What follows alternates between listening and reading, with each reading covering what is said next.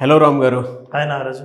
మన ఆలోచన ఎప్పటికైనా సరే అండి నిజమవుతుంది అని చెప్పడానికి సైన్స్ అసలు ఏ విధంగా పనిచేస్తుంది అండ్ మన ఆలోచన ఎగ్జిక్యూట్ చేసే కొద్దీ చాలామందికి థాట్ ఉంటుంది. అంటే నాకు ఇది చెయ్యాలి నేను ఇది సాధించాలి నేను కోరుకునేది జరగాలి అనేటువంటిది ప్రతి ఒక్కరికి ఉంటుంది. ఈవెన్ ఒక్కొక్కరికి ఒక్కొక్క కోరిక ఉంటూ ఉంటుంది సార్. బట్ ఆ ఆలోచన వచ్చేటప్పటికి ఇదైతే బాగుంటుంది అదైతే బాగుంటుంది అంటే ఫెయిల్యూర్ మోడల్లోకి వచ్చినప్పుడు అది అలా జరుగుంటే బాగుంటుంది అని అని అనుకుంటారు. బట్ అది ఒక ఆలోచన సక్సెస్ అవ్వాలి అని అంటే దాని వెనక సైన్స్ పాత్ర ఏ విధంగా ఉంటుంది అది ఎలా పని చేస్తే డెఫినెట్గా మనకి వర్కౌట్ అవుతుంది. అంటే మనం అనుకున్నది ఏ విధంగా జరుగుతుంది ఫెయిల్యూర్ అవ్వకుండా. దానికి విజువలైజేషన్ అసలు ఎలా పనిచేస్తుంది? ఆర్గానిక్ పద్ధతిలో మీ చర్మాన్ని తెల్లగా మార్చుకోవాలనుకుంటున్నారా? సంప్రదించండి డాక్టర్ మాధవిని.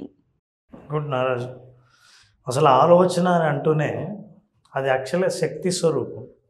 అంటే ఎనర్జీ ఉంటుంది ఆలోచనలో. ఏ ఆలోచన చేసినా అందులో ఎనర్జీ ఉంటుందన్న సత్యం తెలుసుకున్న మరుక్షణం నీ ఆలోచన మీద నీకు పట్టు దొరుకుతుంది. అసలు ఆలోచనలో శక్తి ఉన్నప్పుడు నువ్వు నెగటివ్గా ఆలోచిస్తే శక్తివంతమైన నెగటివ్ ఫలితాలు వస్తాయని పాజిటివ్గా ఆలోచిస్తే పాజిటివ్గా అనుకూలంగా జీవితం మరలుతుందని నీకు అర్థమవుతుంది. మరి ఆలోచనల శక్తి ఎట్లా ఉంది? అసలు ఆలోచనలు ప్రతి పక్కన పెడితే ఈ ఆలోచనలకు మన జీవితం మారడానికి సంబంధం ఏంటి? ప్రతి వస్తువు శక్తి స్వరూపమే. మనం ఒక వస్తువును బ్రేక్ చేస్తే మాలిక్యూల్స్ ఉంటాయి. మాలిక్యూల్స్ నుంచి నువ్వు ఫర్దర్ బ్రేక్ చేస్తే ఆటమ్స్. ఆటమ్స్ ఇంకా సబ్ ఆటమ్స్.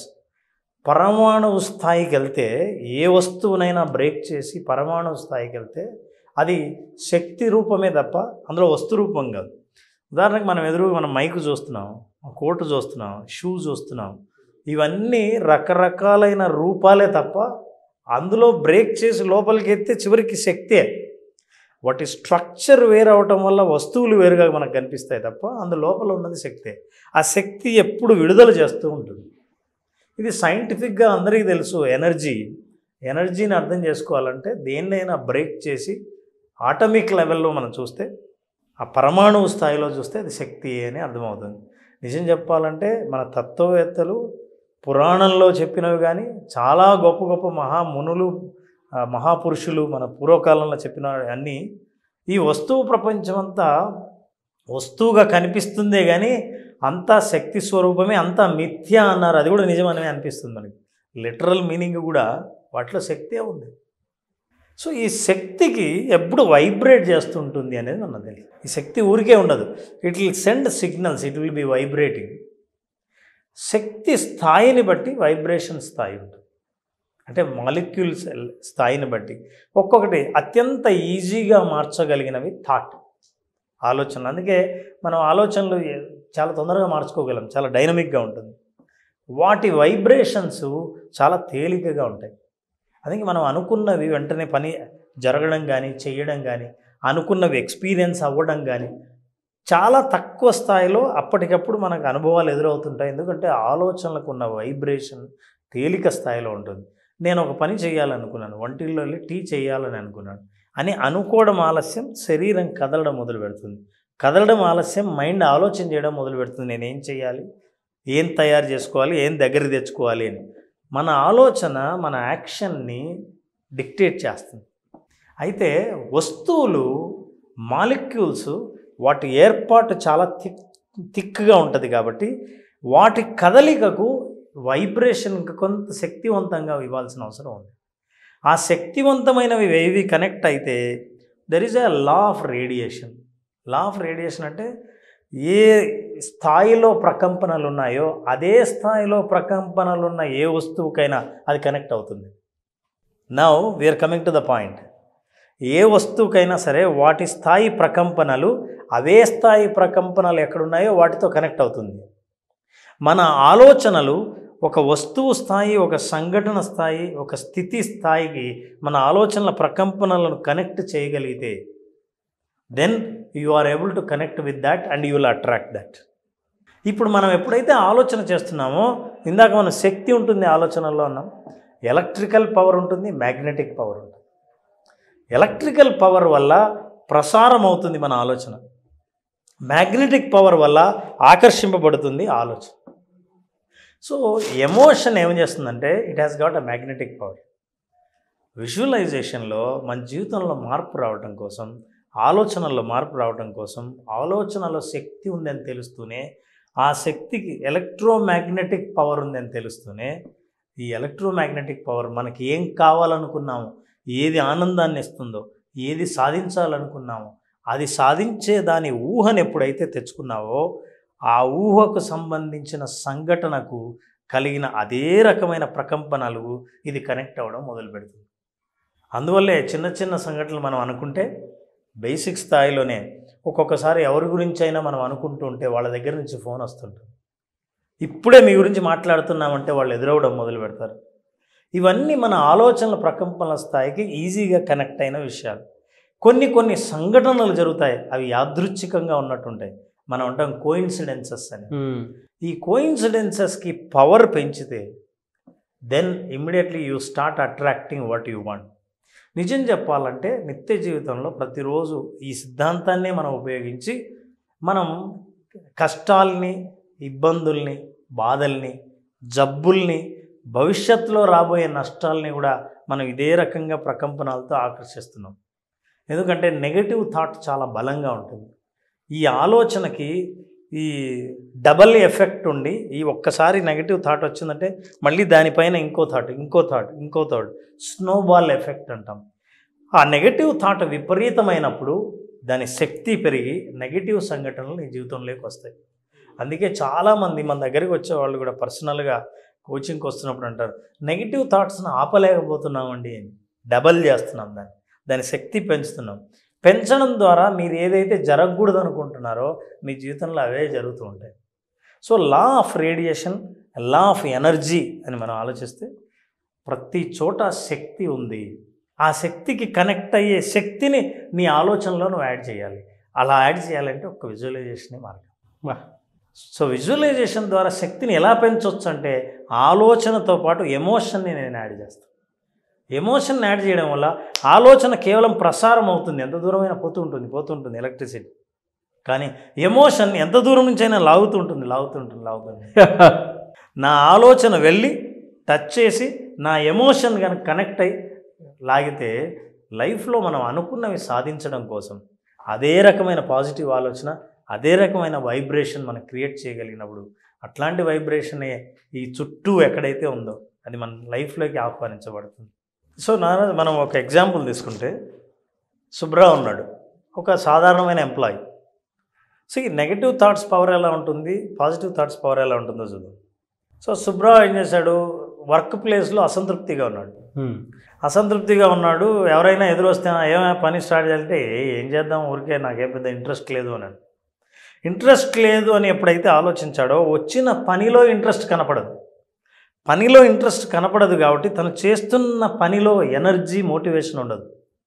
ఎనర్జీ మోటివేషన్ ఎప్పుడు లేదో తను చేసే పని కూడా చేస్తున్నప్పుడు తన అప్రోచ్ కానీ తన ప్రయత్నం కానీ చాలా తక్కువ స్థాయిలో ఉంటుంది.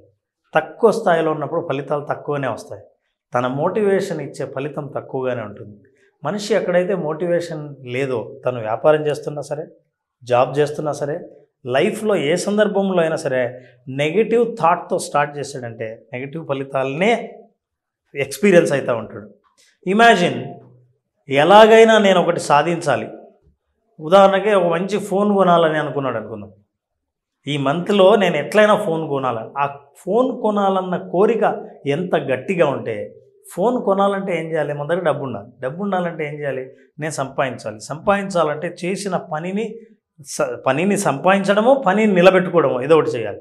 అలాంటి అప్రోచ్తో మనిషి వెళ్ళినప్పుడు థాట్లో he will search for opportunities.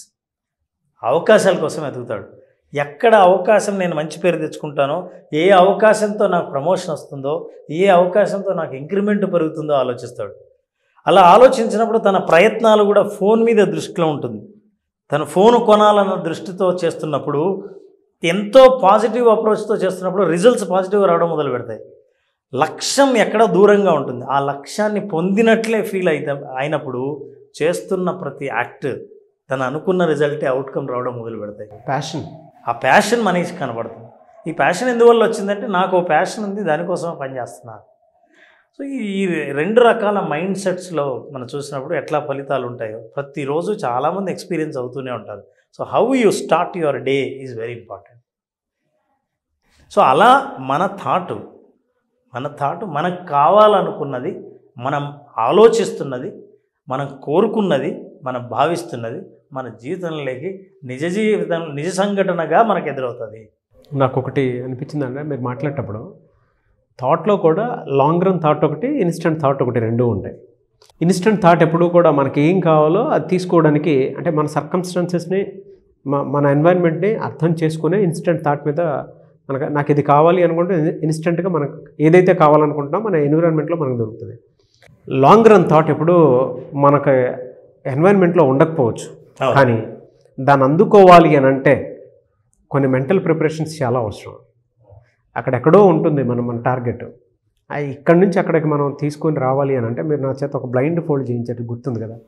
మధ్యలో అక్కడెక్కడో వాటర్ బాటిల్ టార్గెట్ ఉంటే త్రూ విజువలైజేషన్ ఎలా చేయొచ్చు అనేది చెప్పారు. బిఫోర్ విజువలైజేషన్ నేను తప్పు తప్పుగా చేసి ఏదో కింద మీద పడ్డాను నీకు అప్పుడు మైండ్లో ఎండ్ బాటిలే ఉంది. ఎండ బాటిలే ఉంది. బట్ దాన్ని ఎలా రీచ్ అవ్వాలనేది ఆటోమేటిక్గా మన థాట్లో అలా రిలీజ్ చేసుకుంటూ తీసుకుని వెళ్ళిపోతూ ఉంటుంది. ఎనీవేస్ థ్యాంక్ యూ సార్ ఎందుకంటే విజువలైజేషన్ త్రూ మనం అనుకునేటువంటి థాట్ని ఎలా సక్సెస్ చేసుకోవచ్చు అని అంటే ఈ టూ టైప్స్లోనే ఉంటుందండి. త్రూ విజువలైజేషన్ లాంగ్ రన్ని కొంచెం ఇప్పుడిప్పుడు సంవత్సరంలో మనం తీర్చుకునేటువంటి కోరికలు ఏవైతే ఉన్నాయో దాన్ని సిక్స్ మంత్స్లో ఎలా క్లియర్ చేసుకోవచ్చు? త్రీ మంత్స్లో ఎలా క్లియర్ చేసుకోవచ్చు? ఇలాంటి కోచ్ ఉంటేనే అది సాధ్యమవుతుంది.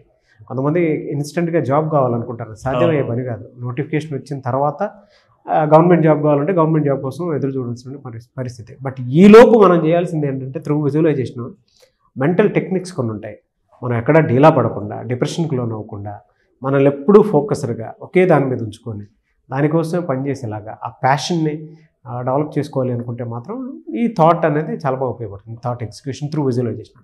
True yes anyways thank you sir thank you so much Ram garu. Thank you sir మళ్ళీ క్లాస్ ఎప్పుడంటే అవకాశం ఉంటుందండి. Basic visualization class. February sixth నా క్లాస్ స్టార్ట్ చేస్తున్నా. Basic visualization. సో బేసిక్ విజువలైజేషన్లో అసలు మనిషి ప్రశాంతతను ఎట్లా సాధించాలి? ఈ ప్రశాంతత నుంచి భవిష్యత్తుని ఎట్లా సృష్టించుకోవాలి అని తెలుసుకోవాల్సిన వాళ్ళు ఉంటే అసలు నా భవిష్యత్తు ఎట్లా పోతుందో అగమ్య గోచరంగా ఉంది అని అనుకున్న వాళ్ళు ఒక గమ్యాన్ని చూడాలనుకుంటే విజువలైజేషన్ బేసిక్స్ అటెండ్ అవుతాయి. ఈ కింద కనిపించే నంబర్కి ఫోన్ చేసి రిజిస్టర్ చేసుకుంటే ఐదు రోజుల పాటు అమేజింగ్ అనుభవాన్ని మనం ఇస్తాం. డెఫినెట్గా సార్. థ్యాంక్ యూ అండి. Thank you so much Ram garu. Thank you Naraj so చూసారు కదండి వీడియో. ఈ వీడియోపై మీ అభిప్రాయం కమెంట్ బాక్స్లో పోస్ట్ చేయండి. ముఖ్యంగా మీరు కనుక ఫిబ్రవరి సిక్స్త్న విజువలైజేషన్ క్లాస్ అటెండ్ అవ్వాలి అనుకుంటే స్క్రీన్ మీద మీ కాంటాక్ట్ నెంబర్ కనిపిస్తుంది. దానికి మీరు కాల్ ఆర్ మెసేజ్ వాట్సాప్ చేసి వెంటనే ఎన్రోల్ చేసుకోండి. మీ మనసుని ప్రశాంతంగా ఉంచుకోవాలనుకున్నా మీరు అనుకున్నది సాధించాలన్నా జీవితంలో జరిగేటువంటి అంటే మీ మీకు కొన్ని ఇన్సిడెంట్స్ వల్ల సమస్యలు చుట్టూ కమ్మేస్తూ ఉన్నా కూడా దాని నుంచి బయటపడాలి అని అంటే ఒకే ఒక సొల్యూషన్ విజువలైజేషన్ సో ఆసక్తి కలిగిన వారు స్క్రీన్ మీద కనిపిస్తున్న నెంబర్కి కాల్ ఆర్ మెసేజ్ వాట్సాప్ చేసి వెంటనే ఎన్రోల్ చేసుకోండి. ఈ వీడియో లైక్ చేయండి షేర్ మాత్రం తప్పకుండా చేయండి. ఇలాంటి మరిన్ని వీడియోస్ కోసం మా ఛానల్ ఫాలో అవ్వండి. Thank you